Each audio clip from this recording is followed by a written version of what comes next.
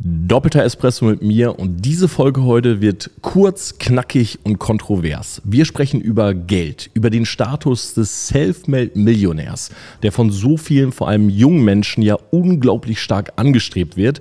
Ich will sieben Dinge mit dir teilen, die du akzeptieren solltest, wenn das dein Ziel ist.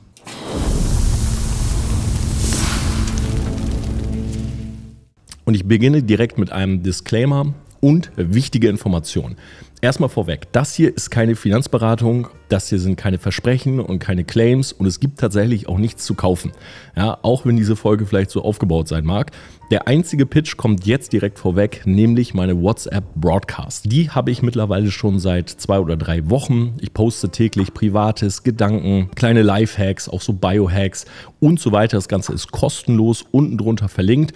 Ganz wichtig, wenn ihr reinkommt, man sieht euch nicht, also man sieht die Nummer nicht und so weiter. Ihr müsst euch keine Gedanken machen, nur ihr müsst oben auf Einstellung gehen, beziehungsweise nochmal so auf die, die Gruppeninformationen und unbedingt den Schalter bei Stumm raus, weil sonst bekommt ihr dementsprechend keine Nachrichten.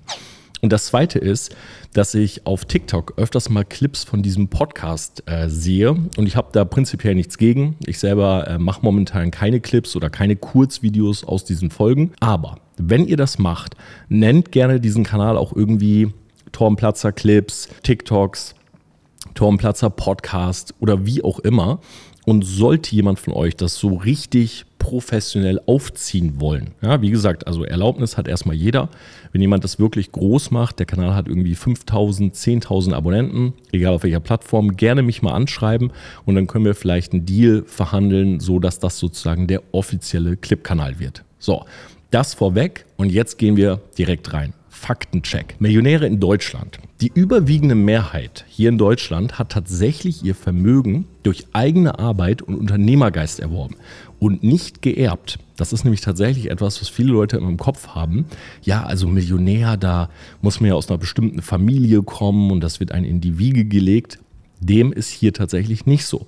Laut einer Studie des Bundesverbands der deutschen Volksbanken und Raiffeisenbanken im Jahr 2016 haben nur 30 Prozent der 1,5 Millionen Millionäre in Deutschland ihr Vermögen geerbt. 70 Prozent sind self-made. Das ist weit über dem Durchschnitt. Weltweit sind nämlich ungefähr nur 55 Prozent self-made und 45 Erbe. Fun Fact: Viele Deutsche, warum auch immer, assoziieren mit dem Wort Millionär oft Lotto spielen. Ja, das sieht man auch so ein bisschen an dem Lotto-Millionär Chico. Der ist ja super präsent, auch in den ganzen äh, sozialen Medien, hat 10 Millionen Euro gewonnen. Die bittere Realität habe ich euch extra mal rausgesucht, ist aber diese. Ja, falls das vielleicht auch irgendwie so ein Gedanke bei euch ist. Es gibt 1700 Lotto-Millionäre in Deutschland. Jede fünfte Person spielt einmal im Jahr. Das finde ich schon echt krass. Zwei von 100 haben eine Glücksspielstörung also geht schon Richtung Sucht. Und 2021 hat die ganze Glücksspielindustrie 44 Milliarden Euro gemacht. 44 Milliarden Euro. Letztes Jahr haben Lotto und Toto Blocks 8 Milliarden alleine rausgeholt. Das heißt, um es mal runterzubrechen, lasst den Scheiß, Leute. Die Chance ist weitaus höher, sich das zu erarbeiten, anstatt irgendwie über Lotto. Und davon gehen sogar statistisch nochmal 70 Prozent wieder pleite.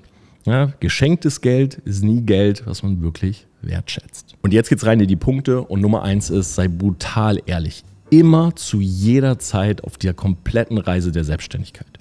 Schau, das Ding ist, dass du dir immer die Frage stellen musst, was willst du wirklich und wie hart willst du es? Viele haben ein Bild vor Augen ne, einen Traum von einem Lifestyle oder die sehen irgendwelche Villen von Schauspielern oder von krassen Profisportlern und so weiter. Das ist völlig in Ordnung, wenn man mal so ein bisschen tagträumt, wenn man mal so ein bisschen seine Gedanken schweifen lässt, lässt und sagt, okay, das muss schon cool sein. Aber das hat nichts mit der Realität zu tun. Die Frage ist, hast du einen Traum dann mach einen Haken dran, ne, völlig in Ordnung, genieß das, das ist so wie eine Serie gucken, eine Fiktion sozusagen. Oder aber ist es wirklich etwas, was du visualisiert hast, werde ich nochmal eine eigene Folge zu machen, wo du sagst, das ist tatsächlich mein Ziel. Safe-Millionär und alles, was sozusagen mit einhergeht. Weil dann, und das ist der große Unterschied, wenn du es visualisierst, kannst du es dir auch für dich vorstellen. Weißt du, wenn du Ronaldo da drin siehst oder Leonardo DiCaprio ist das das eine, aber wenn du dich da drin siehst, dann ist es halt visualisiert. Da gibt es bestimmte Techniken und so weiter, ist für den Anfang jetzt gar nicht wichtig, aber das ist einfach der Unterschied. Außerdem solltest du dir immer überlegen, wo stehe ich gerade? Also was ist meine Situation? Und wo will ich von hier aus hin? Das heißt, wenn du das zum Ziel machst, dann bedeutet das auch immer, dass du es runterbrechen kannst in kleine Steps, in Aktion. Im besten Fall in Jahres-, Monats-, Wochen-, Tagesziele. Und irgendwann den Tag in 90-Minuten-Blöcke. So, alles andere, so von wegen, ja, ich will das gerne oder ich würde und ich kann mir vorstellen, das ist alles Träumerei. Und das ist, wie gesagt, nichts Schlimmes.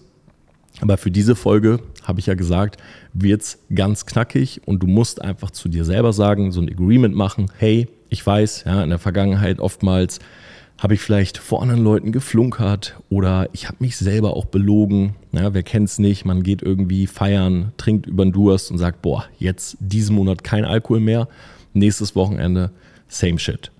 Aber wenn es um die Selbstständigkeit geht, um eine Entscheidung wirklich fürs Leben und du sagst, ja, ich will mir was eigenes aufbauen, dann musst du einfach in den Spiegel gucken. Ich sage es ja immer ganz gerne so, nackt vor dem Spiegel. In dem Fall aber tatsächlich real nackt vor dem Spiegel, aber auch im übertragenen Sinne, weil du immer zu dir einfach ehrlich sein musst, wo du stehst, wie ist der Cashflow, was passiert gerade und so weiter. Ich selber habe da für mich so Reality-Check-Routinen. Zieh dich aus, mach vor dir selber einfach einen Strip. Und ich meine, du kannst vor anderen Leuten ja bisher vielleicht das Gefühl gehabt haben, ja, du willst irgendwie ein Face wahren und so weiter. Aber vor dir selbst, das kann ja nie dazu führen, dass du wirklich eine Veränderung hast wenn du dir immer irgendwas vormachst. Ja, ist doch alles gar nicht so schlecht, wie ich denke oder hm, aber und dann sind das irgendwelche Konjunktive und wenn ich mich mal ein Wochenende anstrenge, dann habe ich das ja auch zusammen. Nee, schau einfach mal auf ein Blatt Papier, schwarz auf weiß, schreib's hin, wie ist deine Lage, wo stehst du und wohin willst du wirklich und wie hart willst du es. Okay, das ist ein Punkt. Sei einfach brutal ehrlich. Und wenn an dieser Stelle du das zum Beispiel machst, ich würde dir jetzt empfehlen, die Folge erst komplett anzuhören, aber vielleicht sagt der eine oder andere, weißt du, ich pausiere jetzt und schreibe das mal auf, so was ich wirklich will. Und da kommt raus, du willst gar nicht ne, diesen ganzen Prozess, du willst gar, du willst eigentlich nur das Resultat, aber du sagst von vornherein so, boah, also wenn ich mir jetzt so anschaue, wie so ein Prozess aussieht, sind wir in den letzten Folgen öfters mal durchgegangen, sage ich dir ehrlich, ist ein schöner Traum, aber bin ich nicht bereit, den Preis zu zahlen. Dann ist überhaupt nicht schlimm. Das ist viel besser, als wenn das immer so ein Ding in deinem Kopf bleibt. Boah, ich würde aber gerne. So kannst du wenigstens damit abschließen. ist auch gut. Und einfach move on, weitergehen, was anderes machen. Punkt Nummer zwei. Jeder hat eine individuelle Timeline. Ich sehe ständig auf Social Media sowas wie, ja, also mit meinem Kurs, mit meinem Businessmodell schaffst du das in einem Monat oder in 60 Tagen oder in sechs Monaten. Oder wenn es um so Konzepte wie Network Marketing geht, dann sagt man ganz oft so in drei bis sechs Jahren. Das Ding ist, es ist alles pauschalisiert, verallgemeinert und hat ehrlicherweise kaum Substanz.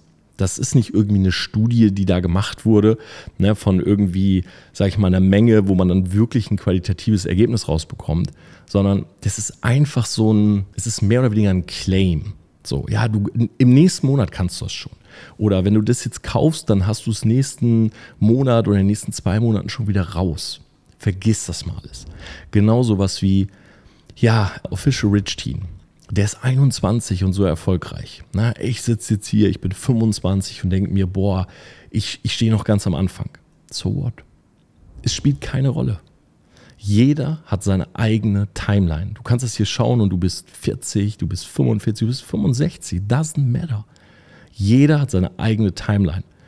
Ich komme aus einer Zeit, ja, ich bin mit Internet 56K-Modem groß geworden. Klar habe ich manchmal so diesen Gedanken von, stell dir vor, du wärst zehn Jahre später geboren. So, du hättest diese ganze YouTube-Zeit mitgenommen, du hättest damals Computer gespielt und hättest dafür schon echt viel Geld verdient. Aber bei mir fing das gerade so an mit den ersten Verträgen für, für ein paar hundert Euro. Ne, Jahre später ging es dann auf einmal um Preisgelder von 10 Millionen. Und dann habe ich das aber ganz schnell wieder weg, weil mich eben diese Reality-Check-Routine einholt und ich mir denke, ich kann doch eh nichts dran ändern. Ne, was wäre, wenn ich damals in Bitcoin investiert hätte? Was bringen diese Luftschlösser? Deshalb, jeder hat seine Timeline.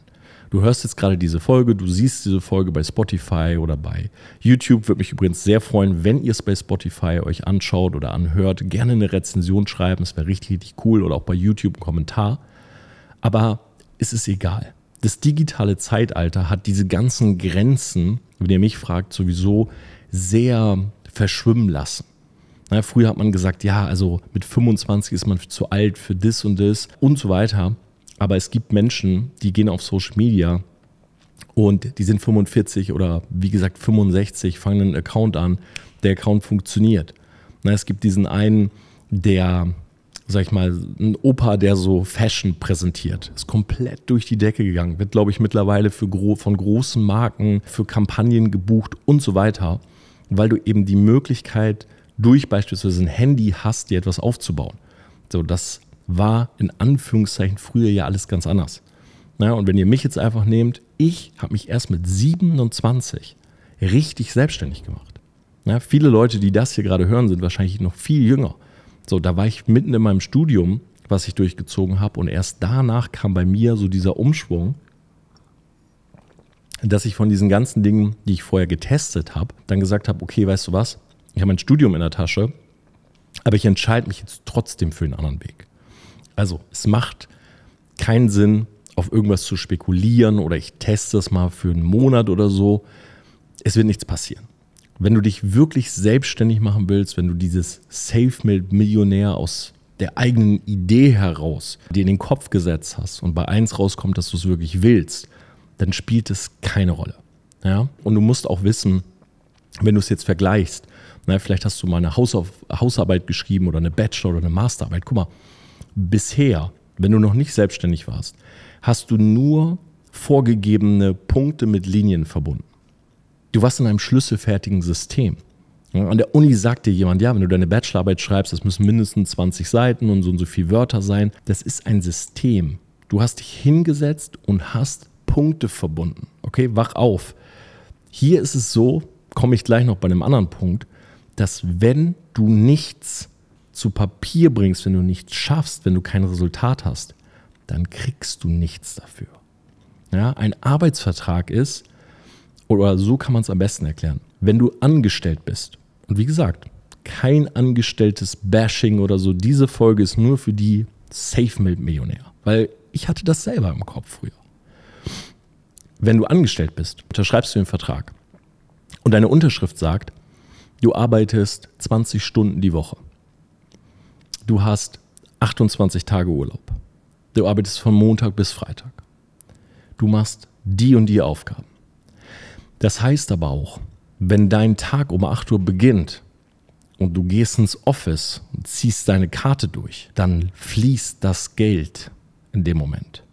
Und dann kriegst du eine Aufgabe, für die du im besten Fall gewappnet bist und weißt, wie man sie löst. Dann löst du die Aufgabe. Und wenn du nicht gerade irgendwie goldene Löffel klaust oder absoluten Bockmist machst, dann kriegst du immer am ersten dein Gehalt. Das ist hier nicht so. Ja, ein eigener Chef zu sein bedeutet, du zahlst dich. Und du kannst nur zahlen, wenn du was geleistet hast, wofür andere etwas bezahlt haben. Also das ist das Konto leer. Das ist ein riesengroßer Unterschied. Ja, aber jeder hat seine Timeline.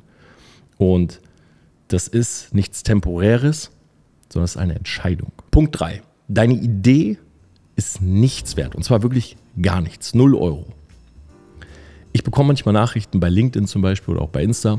Da sagt jemand, Torben, ich weiß, du hast doch Kontakt zu Saigin Yalzin oder zu Jörg Kinzel. Ah, ich habe da eine coole Idee. Kannst du mir mal den Kontakt herstellen? Nein, weil eine Idee an sich haben viele Menschen. Glaubst du, dass Steve Jobs der Erste war, der die Idee für ein Apple-Produkt hatte? Oder für eine bestimmte Technologie oder so, für eine bestimmte Verpackung? Glaubst du, Elon Musk war der Erste, der an elektrische Autos gedacht hat? Nein. Es gibt viele Menschen, die zu Hause wahrscheinlich Jahre, Jahrzehnte früher saßen und so dachten, boah, das wäre schon cool. Aber sie haben es eben nicht umgesetzt. Ja, es gibt keinen Friedhof, der größer ist auf der ganzen Welt wie der von Ideen, die einfach nie umgesetzt wurden. Weil irgendwer zu Hause sitzt und sagt, oh, das wäre schon cool. Aber zwischen, es wäre schon cool und da denkt man ja an das Ergebnis und ich setze mich hin, mache einen Businessplan und breche das runter in Action Steps und Prozess, ist eben 99,9% Unterschied.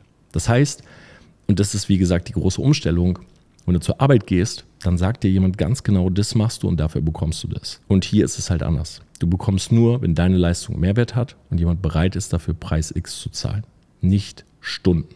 Sprich, hast du eine Idee? Cool. Kann der Anfang sein. Aber jetzt geht es darum, diese Idee wirklich umzusetzen. Nummer 4. Vergiss den schnellen Reward. Im Englischen sagt man Instant Gratification. Das ist die schnelle Befriedigung. Ich mache ein Beispiel, was jeder kennt. Du postest bei Instagram ein Bild oder ein Reel und du wartest, bis jemand liked, kommentiert. Stell dir vor, du postest ein Bild vom Urlaub. So, oder am besten noch so, hey, heute habe ich Geburtstag. So, du wartest, damit jemand sagt, Happy B-Day. Oder wow, cooles Bild aus dem Urlaub. Mann, bist du braun geworden. Boah, du bist echt in Shape. Das ist Instant Gratification. Sofort Reward, sofortige Befriedigung. Das ist auch wie einen Job zu haben. Na, jetzt beim Oktoberfest in München habe ich bei TikTok gesehen, kann man anscheinend echt gut Kohle machen. Gehst hin, da haben die so ihre Videos gefilmt, haben wahrscheinlich darüber nochmal verdient und dann, ja, ist, also will ich gar nicht runterreden, ist sicherlich harte Arbeit, aber äh, du gehst hin und du wirst da genommen und du bist die 18 Tage oder wie lange das geht dort und bedienst die Leute, kriegst halt Trinkgeld, gehst abends nach Hause und sagst, boah, heute war dicke Ausbeute. So, das ist sofort da. Aber äh, sich selbstständig zu machen, was Großes aufzubauen, ist immer ein front-loaded Business-Modell. Sprich, am Anfang arbeitest du sehr, sehr viel ohne Reward, um später irgendwann fast gar nicht mehr für viel Reward zu arbeiten. Das ist das System. Das ist für mich so Step 1 von diesem Punkt. Step 2 ist, sobald du die ersten Erfolge hast, bleib solange du kannst klein. Bleib solange du kannst klein. Verzichte auf diesen sofortigen Reward. Leute haben einen 5000 Euro Scheck, kaufen sich eine Rolex.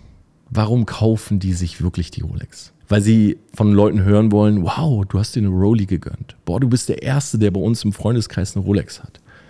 Weil Männer vor Frauen damit punkten wollen oder whatever. Bleib, solange du kannst, klein. Ich habe die Geschichte schon ein paar Mal erzählt, Studentenbutze gewohnt, dort meine erste Million verdient, wenn du es so nimmst. Äh, Finanzamt hat bei mir geklopft. Ich glaube, ich habe in der Folge das alles mal erzählt. Hat sich bei mir, ich hatte nicht mal eine Couch oder so, hat sich aufs Bett gesetzt und hat gesagt, Herr Platzer, hm. Und also nicht so, dass ich das nicht angemeldet hätte oder so. Ne? Ich habe ganz normal meine Steuern gezahlt, aber Finanzamt saß und hat gesagt, hm, Herr Platzer, warum zahlt Ihnen diese Firma aus den USA so viel Geld? Ja, also ich mache hier Social Media und Social Selling und die alle nur so ein riesiges Fragezeichen. So, aber ich wohnte in dieser mit Ikea-Möbeln, vielleicht habe ich sogar noch ein paar Bilder, dann blende ich die euch ein, voll bepackten Studentenbutze. Punkt. So, und ich habe teilweise im Vertrieb in meinem besten Monat, was weiß ich, mal 70, 80.000 Euro verdient. Hm. Und der, der Punkt ist halt zweierlei. Einmal, wenn du das Geld sofort ausgibst, hast du halt die Gefahr, dass dein Check vielleicht mal nicht so gut ist oder es nicht so gut läuft und du hast einfach kein Geld mehr. Und der andere Punkt ist, wenn du halt sofort diesen Reward, Reward bekommst, sag ich mal, dann ist es für dich oder du gewöhnst dich daran, dass du dich immer belohnst. So, wenn du deine erste Uhr dir kaufst mit 5K oder, oder 10K, was machst du dann bei 100? Musst dann direkt die nächste her oder, weil dieses Geld brauchst du ja eigentlich, um dein Unternehmen groß zu machen. Und das andere ist, dass wenn die Gesellschaft sozusagen diese Reward sieht, da kenne ich viele Leute, die da nicht mehr rauskamen. Ich werde das nicht vergessen. Ein Vertriebler, Kollege von mir, den ich auch ja, nicht so gerne mochte, so ein bisschen so ein Protztyp, sage ich mal, ne? immer irgendwie so Anzug und ja, so ein geleckter Dude halt. Und der hat, ähm, ja, der hat sich ein Auto geholt, Mercedes, hat sich eine Watch geholt, also eine schöne Luxusuhr und ja, immer das teuerste Essen, jeden Abend Lachsfilet, drei Gänge, Frauen ausgeführt. Und wir hatten so Team-Calls und mir ist aufgefallen, dass er die immer im Auto gemacht hat. Und irgendwann ist mir aufgefallen, dass er die im Auto gemacht hat, aber irgendwie auch immer die gleichen Klamotten trägt. Und dann waren wir essen und er hat sich wieder das teuerste bestellt. Aber immer wenn die Rechnung kam, musste er kurz raus telefonieren. Ah, kannst du kurz übernehmen? Ich, ich mache das gleich. Naja, Ende vom Lied. Der hatte einmal einen guten Check, hat sich alles gekauft und dann blieben die Checks aus. Aber dadurch, dass er in sein Umfeld war, halt junge Frauen, die er beeindrucken wollte, hat er versucht, solange es geht, das aufrechtzuerhalten. Indem er dann immer die gleichen Sachen getragen hat, äh, indem er irgendwann zu Hause sogar rausgeflogen ist. Also der hat bei seiner Ma gewohnt, deshalb auch immer aus dem Auto heraus. Ja, ganz bittere Nummer. Ein anderer Kollege von mir wollte ihm irgendwann mal Geld leihen, äh, weil er gefragt hatte. Und dann kam er so zu mir, hat gesagt, boah, Bro, meinst du, ich soll dem echt Geld leihen? Und ich bin gar kein Fan davon, weil es hat immer nur Probleme gemacht. Aber er hat es trotzdem getan. Und der andere Dude, also der da broke war schon, der hat halt nie Danke gesagt.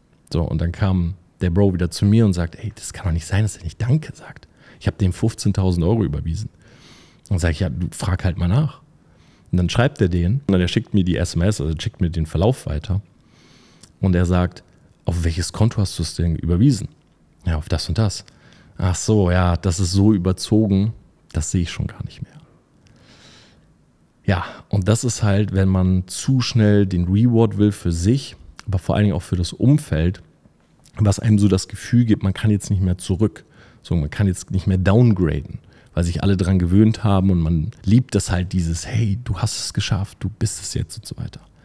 Glaub mir, bleib so lange, wie du kannst klein, erzähl so wenig Leuten wie möglich und mach's auf gar keinen Fall für den Status. Mach's auf gar keinen Fall für den Status. Ich kenne Leute, die geben Geld aus für Amex-Tags an Reisetaschen. Also die haben keine Amex Black Centurion, sondern die kaufen sich das Tag für die Reisebag oder eine Louis Box ohne Inhalt. Don't do that. Mach das nicht. Mach das nicht. Werd zum Prozessliebhaber und versuch nicht self-made zu werden für andere Menschen keine gute Idee. Punkt Nummer 5, und das wird jetzt der kontroverseste. Das Konzept Work-Life-Balance und das Konzept Wochenende. Streich das. Verschiedene Gründe. Erstens, gerade schon gesagt, du tauscht nicht Zeit gegen Geld. Es ist nicht in deinem Vertrag. Okay? Der Ursprung beispielsweise von Wochenende ist einmal politischer Natur, kann jeder mal nachschauen und natürlich auch irgendwo beispielsweise christlicher, am siebten Tag erschuf Gott die Welt und so weiter. Ich bin nicht religiös, ich bin da raus.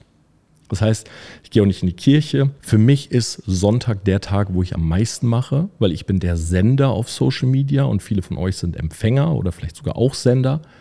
Aber wenn viele empfangen wollen, aka auf der Couch liegen und gucken, dann muss eben auch einer vorne spielen. Und das bin ja ich. Oder ihr jetzt bald. Oder vielleicht seid ihr es auch schon. Und für mich aber der größte Grund oder der stärkste ist folgender. Work-Life-Balance heißt ja, ich separiere Work und Life. Das ist eine Vorstellung, die ich nicht haben will.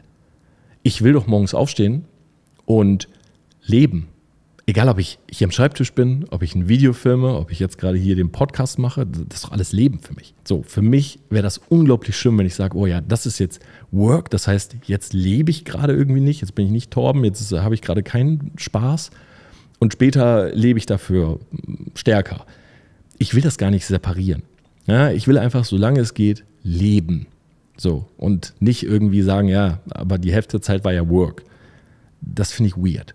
So.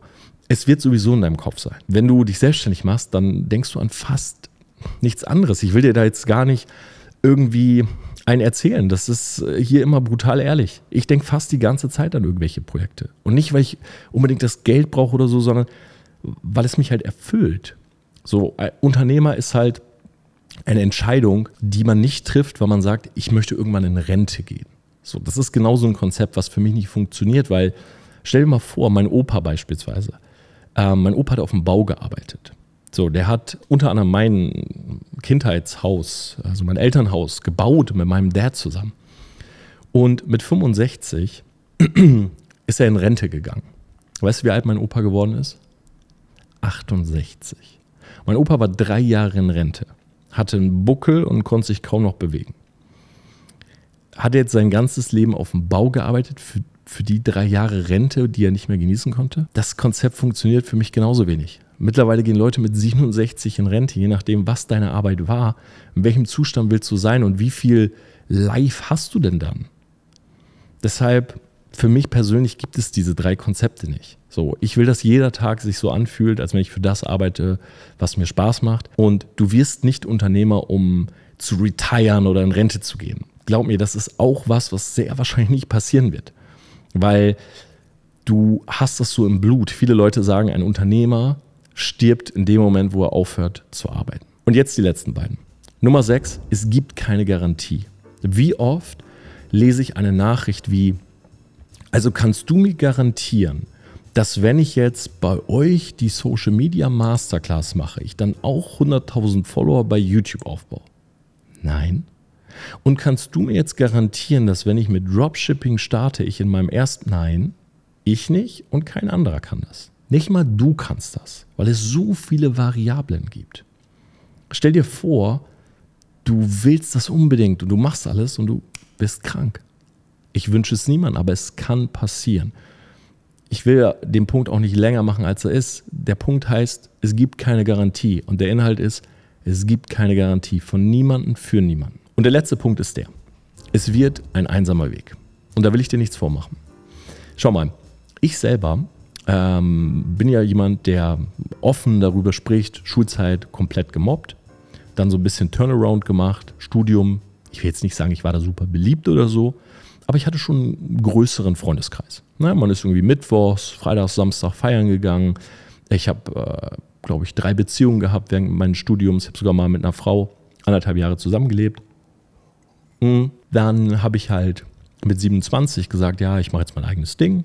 Und die sind halt alle weggezogen, weil die haben ja alle mit mir Lehramt studiert. So, und kaum jemand hat in Oldenburg, da in Niedersachsen, sein Referendariat gemacht und dann waren die halt irgendwo verstreut in Deutschland. Ich bin heute noch in einer Gruppe mit drei Mädels, mit denen ich Germanistik studiert habe.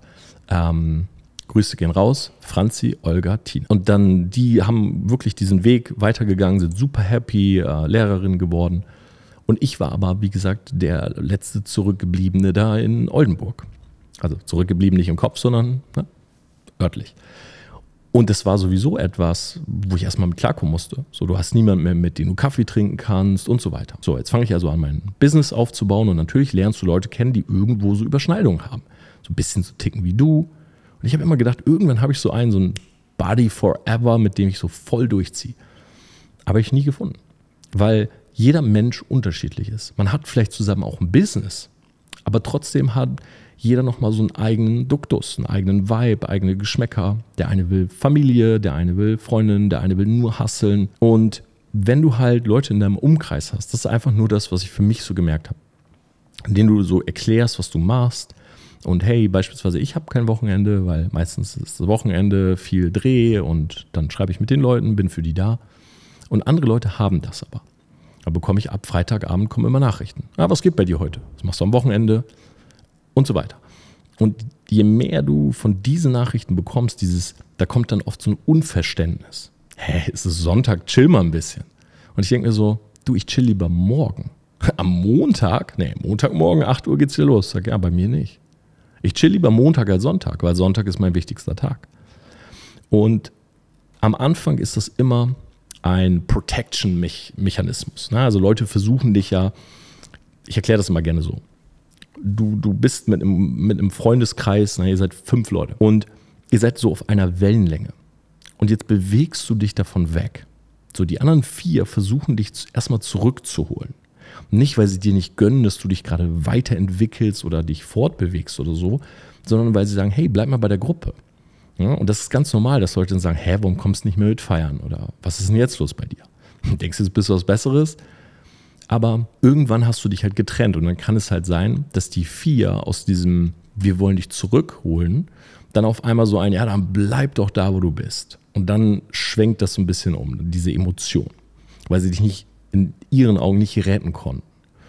Und ich habe halt gemerkt, dass kurz über lang das oftmals so ist. Deshalb ist meine Regel, tausch alle deine Fake Friends ein für einen richtigen zwei, drei. Aber du brauchst nicht mehr als eine Handvoll Menschen um dich herum. Du brauchst nicht mehr als eine Handvoll Menschen. Du musst nicht am Tag mit 100 Leuten schreiben. Du musst nicht mit 100, auf 100 Geburtstage gehen.